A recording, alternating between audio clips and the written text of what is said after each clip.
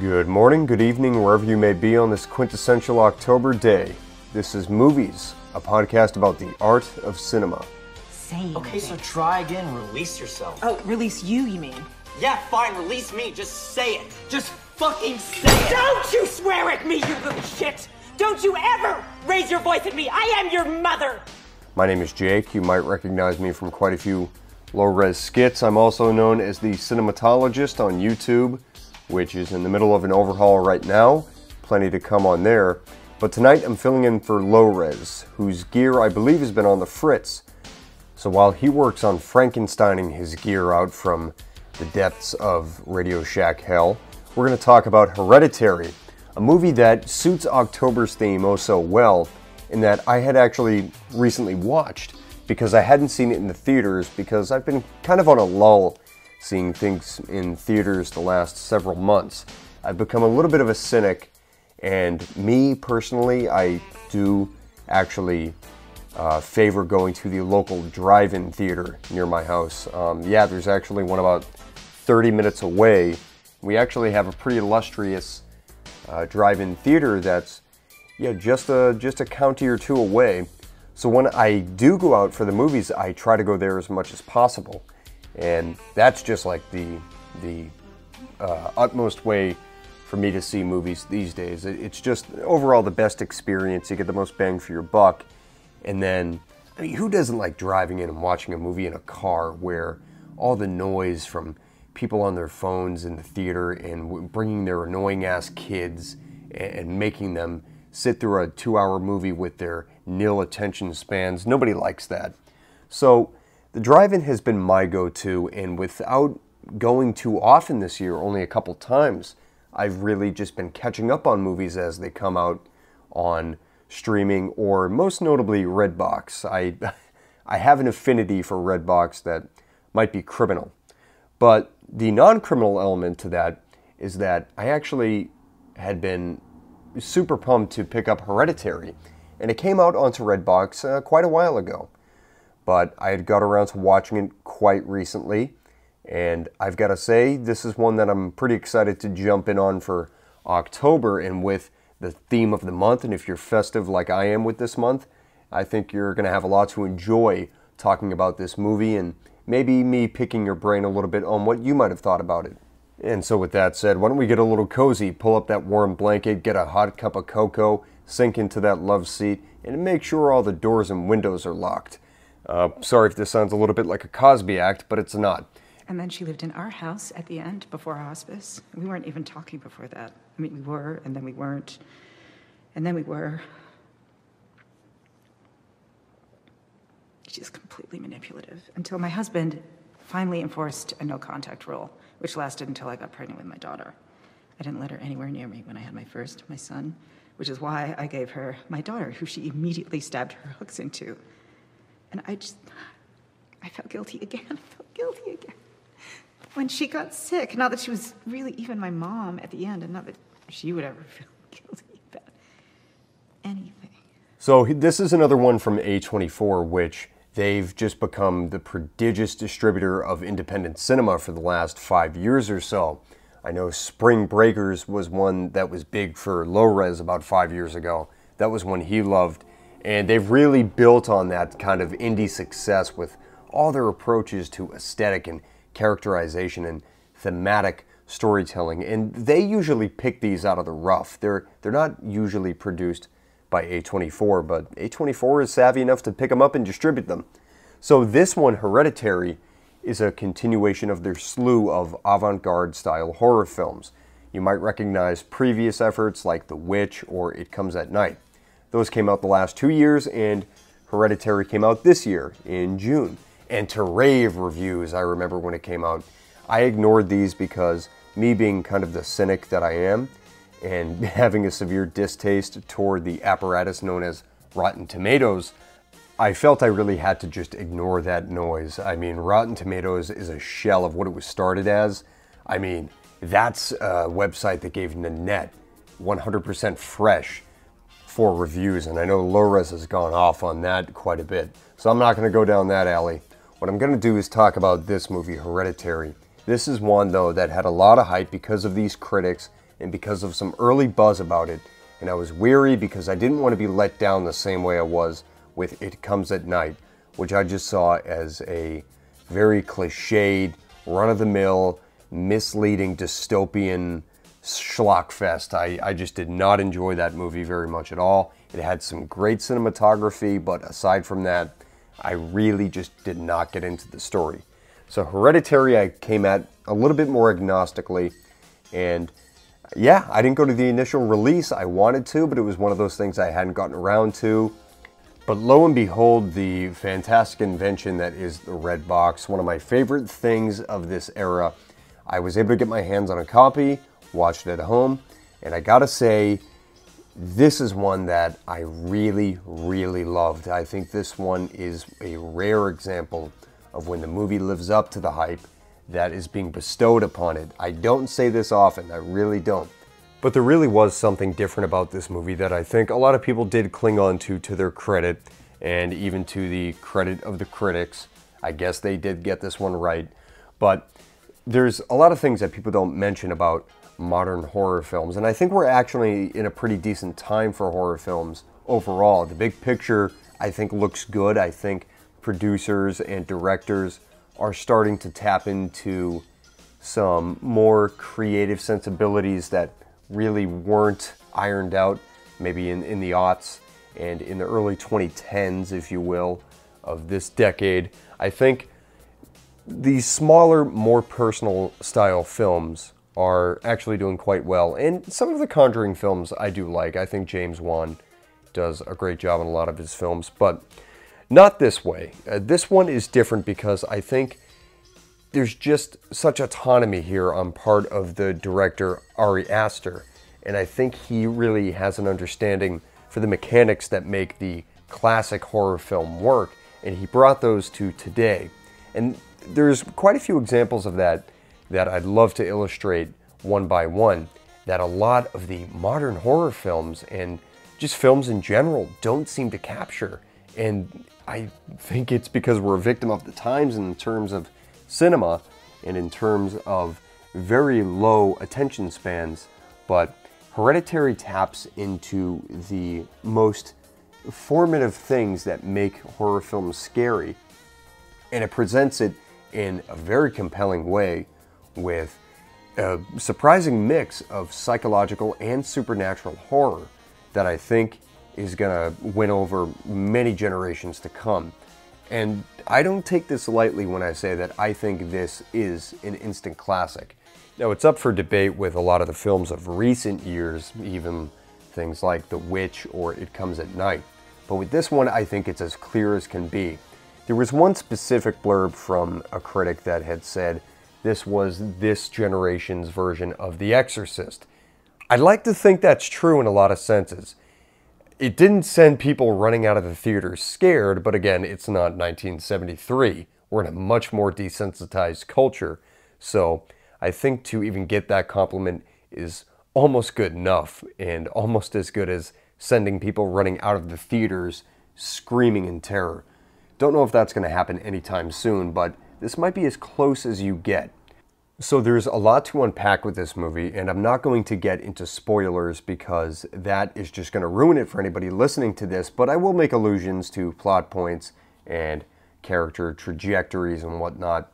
So I just want to be courteous to everybody here and really give this a fair hearing while not ruining the experience of the movie because you can already tell by my praise of it, I think you should watch it.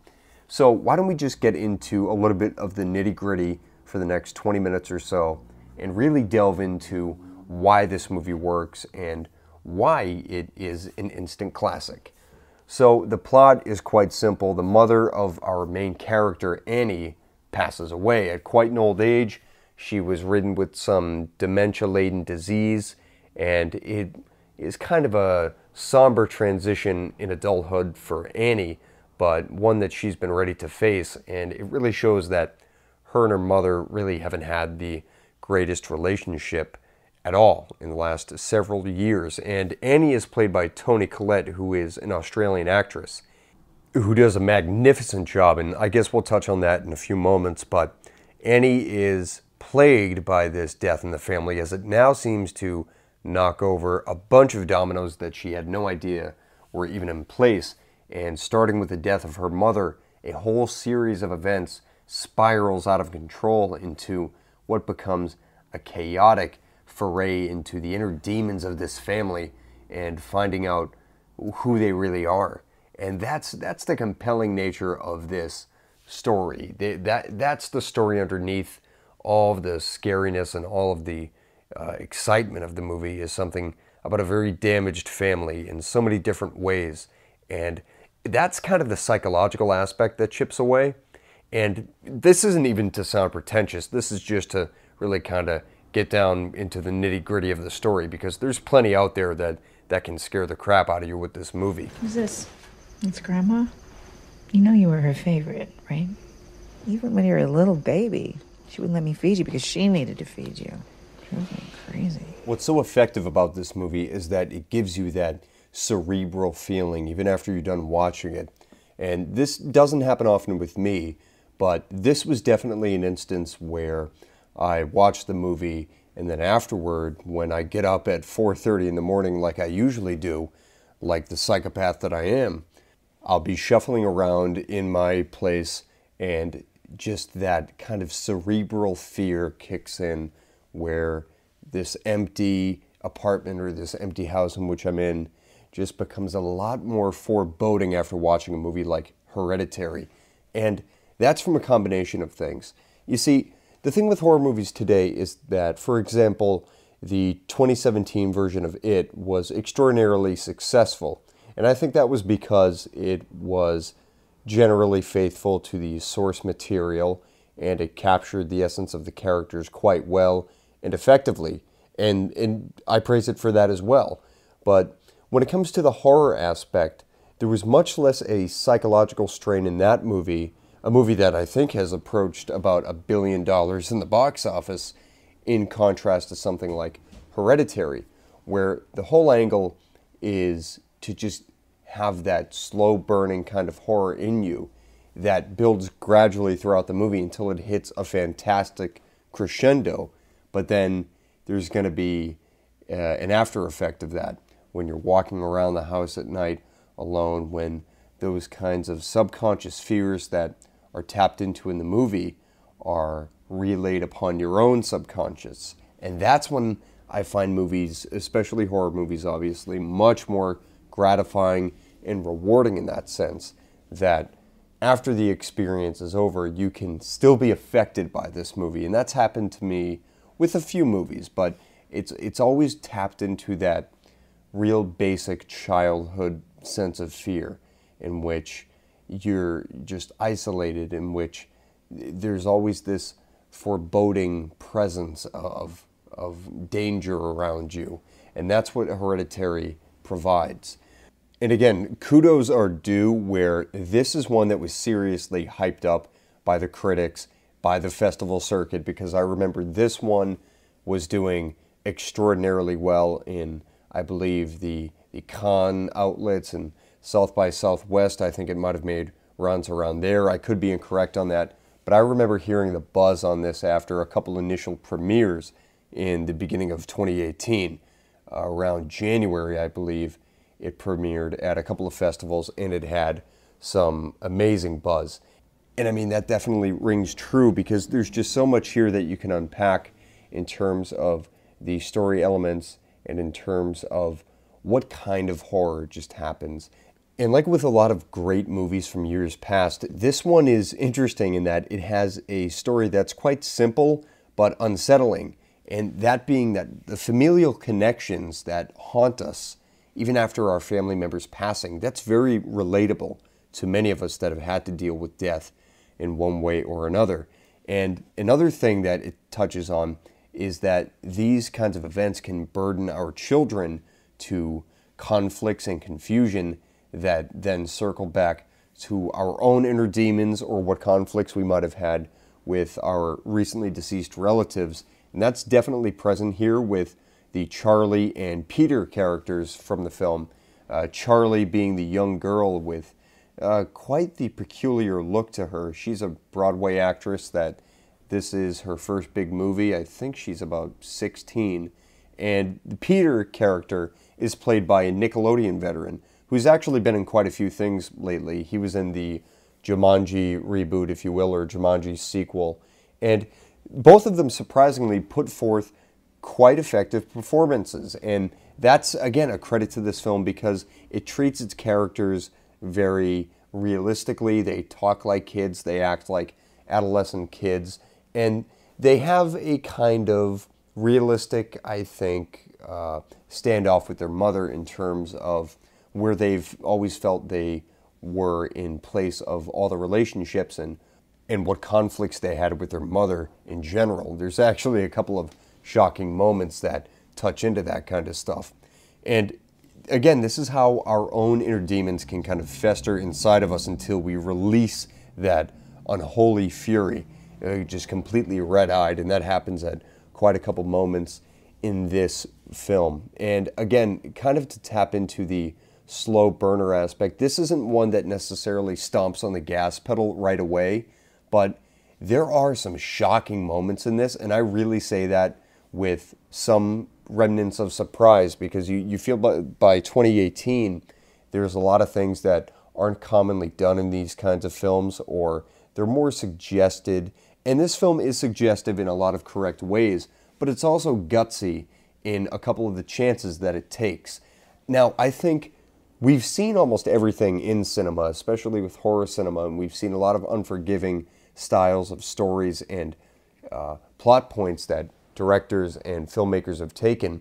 But I feel with the recent years and maybe with the turn of, I don't know, maybe the 21st century, there's been a dialing back of a lot of things and maybe to cave into corporate pressure and to really hone in on demographics and not to ruffle any audience feathers, but that's never going to appeal to audiences or resonate with audiences the same way that some of our most cherished classics have taken risks that were seen as very unconventional, like even Alfred Hitchcock, Hitchcock's Psycho, killing off the main actress in the first act. So there's a couple of those moments here, and they definitely resonate very chillingly, at least with me. But I appreciate a film that goes all the way with its premise and doesn't seem to follow typical conventions. It's not to say that this one doesn't follow any conventions, but just how it stands out from the normal archetype of a horror film is very reminiscent of what A24 horror films have been becoming known for, and especially within the context of this particular film individually, it really does deliver on those uh, on those points. But what I think we really need to pay attention to here is the overall aesthetic approach. That's something that I harp on very much so when talking about films and analyzing films, and it's something here that I think is paramount to the film's success, and I'll tell you why over the next 12 minutes or so.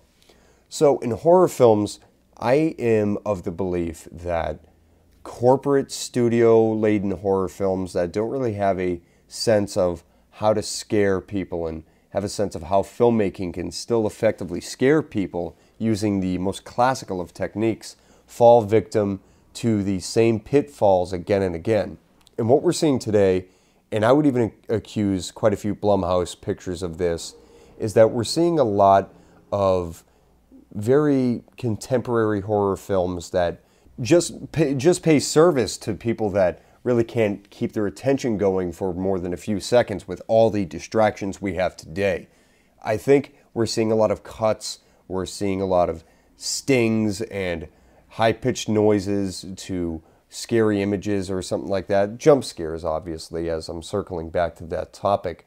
But that's really what's going on here. We're, we're not being immersed in horror films or in the setting of horror films as we used to be. And I don't even think that's a nostalgic point of view. I think that all comes down to techniques in cinematography, techniques in editing. And one critique I would have for a lot of horror movies today is that they don't let the scene breathe. And one great instance of that, I'm going to circle back to it of 2017, is when Georgie is reaching into the sewer and Pennywise is gaping his mouth open with a bunch of teeth and right before he's going to sink into his arm. And I just felt that if they just let that play out another half second or another second and just get the totality of that buildup, that would have much more effectively captured the terror of the scene. And I think it's just because studios and maybe even some modern directors don't think people like slow burners. They like clear cut, completely beat out, uh, beat by beat horror films that just get you from A to B. And I don't think that is the experience of a horror film. Go back to any of the most formative classics of the last 40 or 50 years, and you're going to see a consistent pattern in how they were shot, edited, and what techniques they had aesthetically to really strain the audience's sense of security. And my point is that Hereditary does that here to the fullest extent. A lot of scenes are allowed to breathe, and a lot of scenes are staged in brilliant one takes and with a lot of uh, well planned choreography or blocking on part of the actors and the director, Ari Aster. And I think Ari Aster was uh, very savvy in that he just let things unfold in front of the screen for quite a while. And there's a lot of keynote scenes I want to mention in particular, but I'm not going to for the sake of you guys that might not have seen this movie. But I will say the effective scenes for me, and especially uh, quite a few, were when certain characters were in an environment that called for a lot of dramatic tension, the kind of dramatic tension that is foundational in horror films, and them just tiptoeing through these kinds of settings with no idea what's on quote unquote the other side of the door, and us knowing and being clued in on that dramatic tension, but seeing that unfold in singular takes and seeing the progression of the actor's emotion and just being immersed in these environments with these characters, that is what gets you invested and what gets you completely involved in this movie or in these kinds of movies. And I think that's something that's been terrifyingly, to make the pun, uh, lacking in a lot of recent horror films. And to see Hereditary pick up on that and particularly to my own sensibilities really cater to that was something that I just was so into and it just got me so invested and it really stretched out the suspense quite a bit more and I've just got to say to add on to the point of movies going all the way with their premise this one again turns up the crazy slowly but surely but when it hits that peak of just craziness there's no turning back it is just a harrowing disturbing immensely fun but terrifying film and it really picks up I want to say after the first act. There's quite a turning point in late in the first act, and it just changes the whole dynamic of the movie.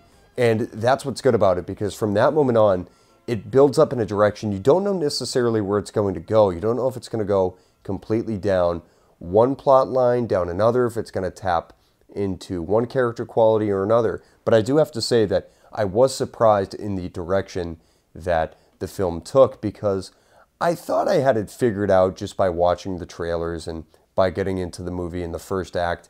I thought I knew where the story was going to go, what it was going to highlight, and I won't again spoil what my theory was and how it was wrong, but I would like to say that this film doesn't aim to be too pretentious, and that is one of the things I love the most about it. It's definitely suggestive and it definitely and it definitely wants the viewer to pay attention to a lot of the aspects.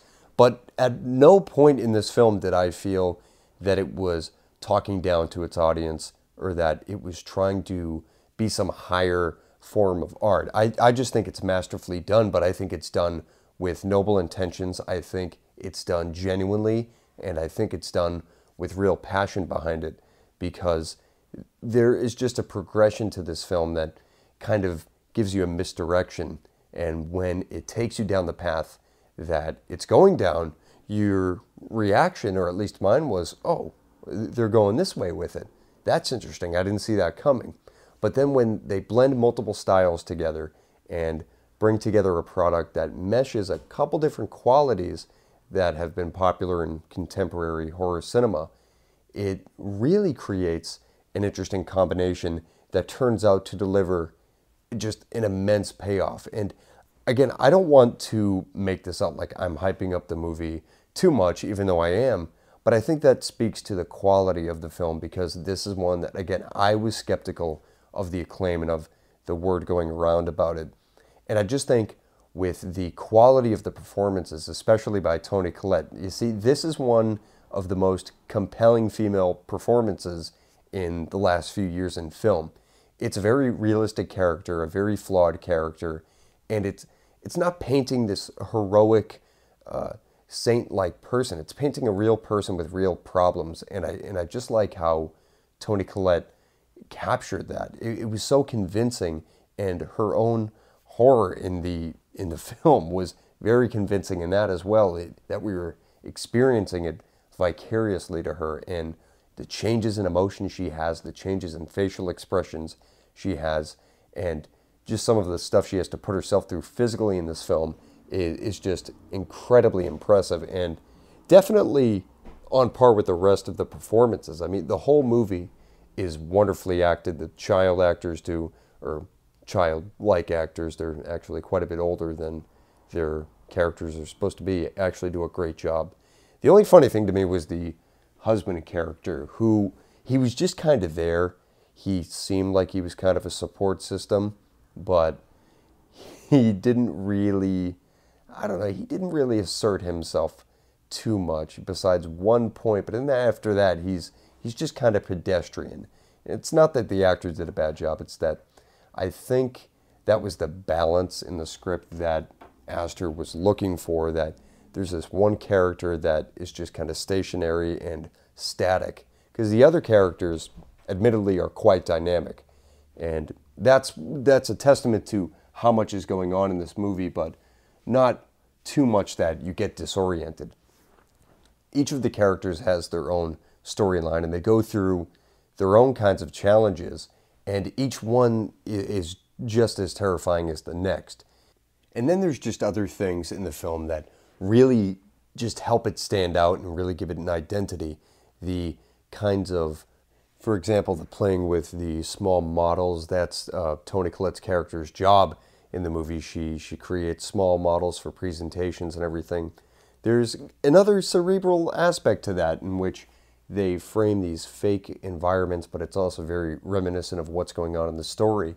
And that's something that can definitely tap into some subtle symbolism because it's right there. So it's stuff like that. But then in combination with everything else it has going for it, it just becomes a much more mesmerizing film in that aspect and even that much more unsettling with with the just lifeless figures that are planted in the doorways of these fake little houses. It's stuff like that that can even creep into your subconscious and give you give you some creepy feelings when you're walking through the house in the dead of night alone. Uh, in terms of critiques of this film, that's really an interesting question because I really see this film as almost perfect. I mean, if you had to give me a rating to give it, I'd say a 9 out of 10, honestly. Um, it's just, again, no or very few films are even close to perfect. But with this film, I just think it understood film language quite well enough, and it really didn't kind of advertise itself as a horror movie and come off as faux anti horror, which you go on Reddit and you'll see plenty of people complaining about films of the past or a couple years that really haven't lived up to their marketing as an all out horror film. And I think this does not mince words at all. I think it is a terrifying movie in the best way possible. But I suppose if I have to give it a critique, I suppose the length is up for debate. It's about two hours and 10 minutes, but I don't see that as a real hindrance to the movie. It's a little bit deeper of a film than that. But again, not overly pretentious. It's I think anybody can enjoy it as long as you sit down and get into it.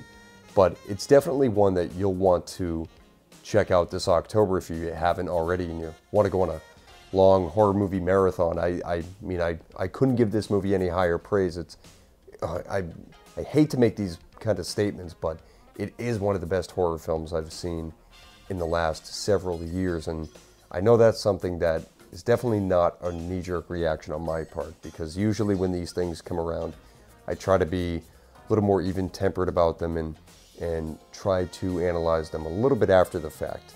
So at the end of the day, I just think Hereditary is, again, one of the best horror films of this generation. It, it doesn't pull any punches. That's the best thing about it. It goes all the way with its premise. You may not like the direction it takes necessarily, but I would say to give it a chance because though I didn't expect it, it just it bugged the hell out of me like on a visceral level and I mean that in the best way possible. The imagery it can just be horrifying at times. The camera work, the editing is masterfully allowed to breathe and allowed to let the actors flourish in their settings and that's where the actors such as Toni Collette really just hit a home run with their performances. Again, I'll say I do believe Toni Collette d- deserves an Oscar nomination for this, if not an Oscar. But if you even give a crap about the awards, which most of us don't, I think, listening to this podcast, um, if you don't, then yeah. But for the sentiment of it, I think she does deserve some recognition for this. And I think this this is a horror film, yeah, that is kind of on par with the Exorcists and the Rosemary's Babies of the past that have gained that kind of Academy attention. Though I think horror films are just completely shunned uh, unreasonably, largely, and it's just because they don't play to the right ideology, they don't play the right politics, and the ones that do, uh, they they just make the cut or they squeeze through pretending to be something else. But this is one that really stands out.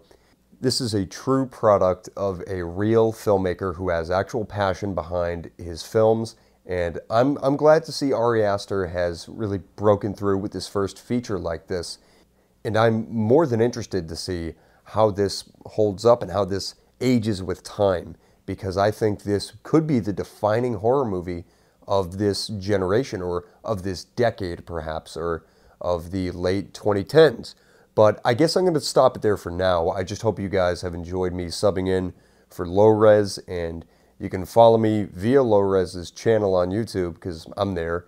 But if you want to jump over to me at the Cinematologist, I think LowRes has got me linked up on his channel there. Uh, it's in the middle of a overhaul right now. I have some stuff that should be coming out in October that I'm working quite a bit on. So if you just give me some leeway, I'm going to have some really good stuff there. But this was cool. I hope to jump back on here again and I wish I was a little bit funnier for you guys, but I kind of did this on the fly, so uh, I just had to talk about the movie. And there was so much I wanted to say about the movie, and that I couldn't because I want you guys to enjoy it as well.